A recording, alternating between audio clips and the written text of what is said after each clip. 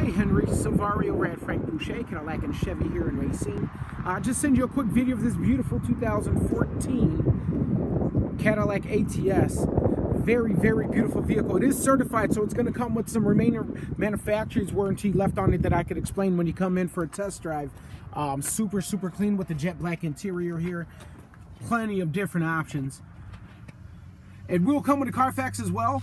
Uh, it is priced to sell. We deal with 25 different lenders here in our area, so uh, definitely help you out.